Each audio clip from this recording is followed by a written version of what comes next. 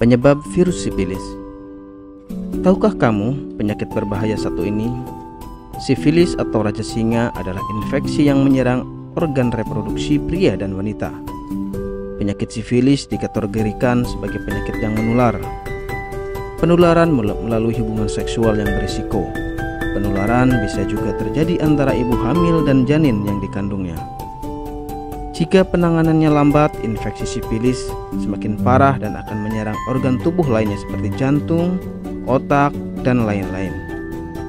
Kondisi janin yang lahir dari ibu yang terinfeksi sifilis atau raja singa dapat membuatnya meninggal. Penyebab penyakit sifilis Bagaimana bisa terjangkit penyakit sifilis? Kesetiaan dalam berpasangan memang sangat penting bagi kesehatan. Penyakit sifilis dapat ditularkan ketika sedang berhubungan seksual dengan lawan jenis tanpa menggunakan kondom.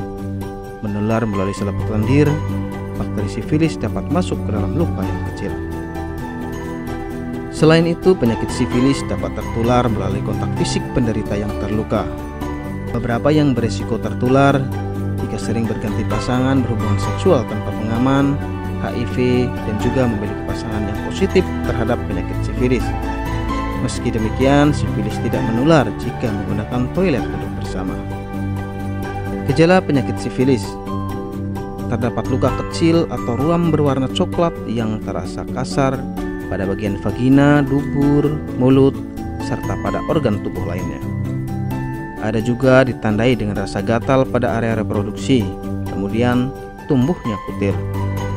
Selain itu, dibarengi dengan tubuh yang demam, serta berat badan yang menurun, bahkan pasien akan merasakan pusing, sakit tenggorokan, rambut rontok, dan pembengkakan kelenjar getah bening. Pengobatan penyakit sifilis Selain mengkonsumsi obat herbal, Anda juga bisa tentunya berkomunikasi atau konsultasi dengan dokter yang akan memberikan suntikan antibiotik dengan dosis yang berbeda tergantung kondisi penyakitnya. Apakah Anda masih bingung bagaimana cara mengobati penyakit yang Anda derita? Tidak tahu mana obat yang aman dan efektif untuk pengobatan? Berikut ini kami rekomendasikan produk herbal yang sudah terdaftar di BPOM, aman dikonsumsi, dan tanpa efek samping, produksi dari PT Denatur Indonesia. Berikut adalah paket obatnya.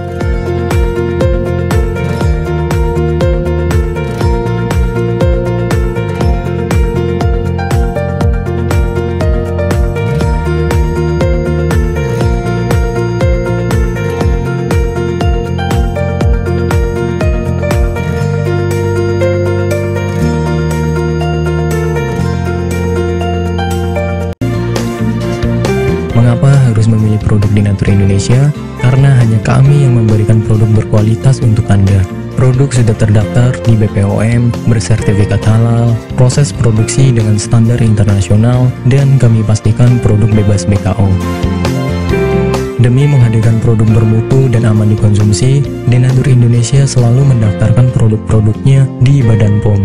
Denatur Indonesia juga memberikan perlindungan kepada konsumen dari zat haram dalam suatu produk dan etika produksi yang benar dengan hadirnya sertifikat halal ini.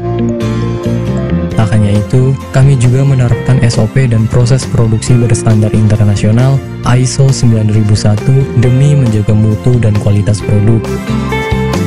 Kami pastikan pula produk Denatur Indonesia 100% terbuat dari ekstrak bahan herbal tanpa sedikit pun campuran bahan kimia obat dengan adanya hasil lab ini.